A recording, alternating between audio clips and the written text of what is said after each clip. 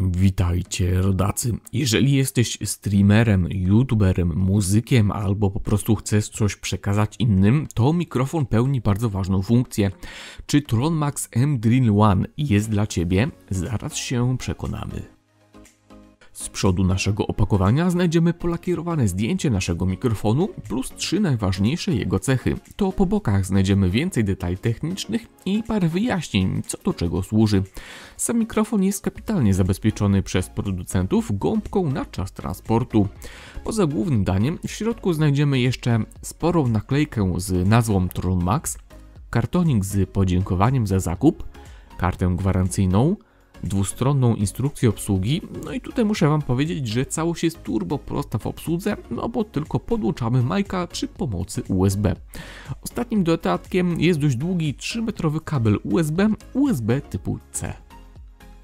Tak wygląda nasz mikrofon od razu po wyjęciu. Jest osadzony na dość ciężkiej podstawce, która jest solidna, no i dzięki temu mikrofon ani drgnie. Wszystko dodatkowo jest zrobione z wysokiej jakości plastiku, a spasowanie całości jest wzorowe. Na spodzie naszego urządzenia znalazło się wejście USB do zasilania. Obok jest wejście do odsłuchu, czyli dla naszych słuchawek.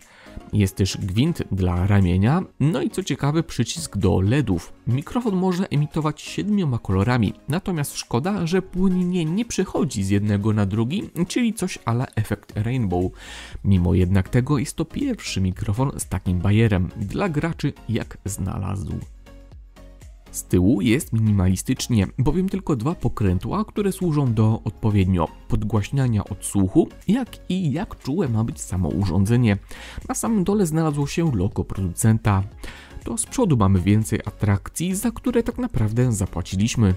Idąc od dołu jest guzik, który służy do zmiany jednej z czterech charakterystyk, jaką możemy ustalić, bowiem w środku mamy trzy kapsuły, które możemy włączać na cztery różne sposoby, uzyskując zupełnie inne brzmienia. Mamy zatem charakterystykę kardioidalną, czyli nagrywamy źródło dźwięku, które znajduje się z przodu mikrofonu. Ósemkowo M1 zbiera wtedy dźwięk z przodu i z tyłu mikrofonu, a więc bardzo dobrze sprawdzi się w różnych e, sytuacjach, gdzie prowadzimy na przykład wywiady, gdzie ktoś siedzi naprzeciwko nas. Jest oczywiście stereo, no i tutaj sprzęt zbiera dźwięk z prawej i lewej strony mikrofonu oraz bardzo delikatnie z przodu. Taka charakterystyka na pewno przyda się przy nagraniach np. gitary. Ostatnią charakterystyką jest dookólna, no i jak sama nazwa wskazuje, dźwięk w równej mierze będzie zbierany z każdej strony równomiernie. Jak widzicie, sprzęt jest bardzo wszechstronny i ma wiele zastosowań. Dla mnie głównie przyda się pierwsza opcja, czyli kardioidalnie.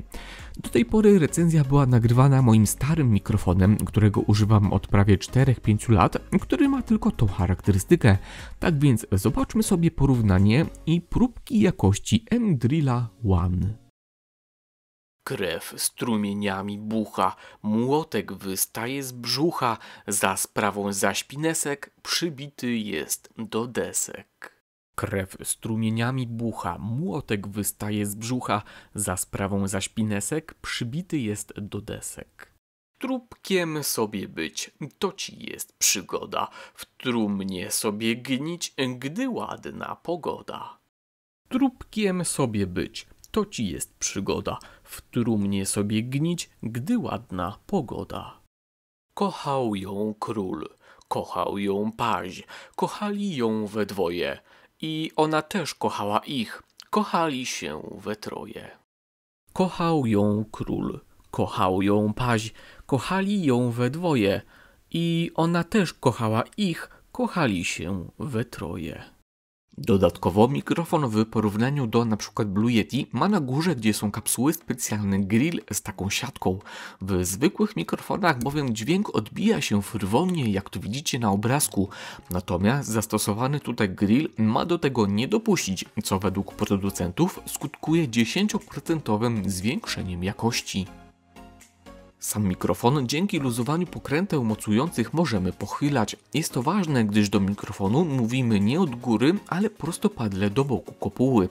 Zatem jeżeli M-Drill One stoi zbyt nisko, będziemy mogli go spokojnie ustawić do odpowiedniej pozycji, która najlepiej ściąga dźwięk. A propos ściągania, mikrofon bardzo dobrze tłumi zewnętrzne dźwięki. Ja jakieś pół metra za mną mam telewizor, no i gdy jest włączony, a ja mówię do mikrofonu, dźwięki prezenterów czy jakiejś muzyki są ledwo, ledwo słyszalne, no a to jest spory plus. Reasumując, sprzęt ten jest dostępny na Amazonie i kosztuje na dzień dzisiejszy 98 dolarów, czyli 372 zł plus ewentualny VAT. No i za tą cenę dostajecie mikrofon, który specyfikacją przewyższa Blue Yeti, jest od niego tańszy, a i dodatkowo ma kilka ekstra funkcji. Jeżeli chodzi o jakość dźwięku, to od połowy recenzji mówię do recenzowanego urządzenia no i napiszcie mi w komentarzach, czy mój głos brzmi lepiej niż na początku, albo czy na tyle dobrze, że warto kupić M-Drill One. Oczywiście, jeżeli macie jakieś pytania co do mikrofonu, walcie w komentarzach, a tymczasem dzięki serdeczne za uwagę, trzymajcie się i do usłyszenia. Cześć.